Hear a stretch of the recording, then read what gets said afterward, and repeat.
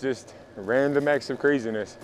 It's just a little time consuming to put it back. Sean Patterson spent most of his day fixing the mess this Grinch left behind. It just doesn't make any sense to me. Sean and his partner easily have the best Christmas setup on their street light signs and over a thousand bucks worth of inflatable decorations. But overnight, this guy showed up and stole three of those inflatables an archway, a Santa Claus, and a reindeer running over a grandma. These were pretty particular pieces. If you put them up in your yard, somebody's going to notice. Patterson says he can't understand why this Scrooge would want to ruin his Christmas spirit. At midnight on a Sunday, you have nothing better to do? Uh, Albuquerque police now have the security video, and investigators are trying to identify the suspect. And to add insult to injury, the Grinch also damaged a number of lights during the theft. At least none of these are broken. And even though stealing inflatables is pretty low, we're not going to let it keep us down or dampen our spirits or anything like that. We're going to keep moving forward and just keep trying to spread cheer and joy. Sean says he won't let this guy ruin Christmas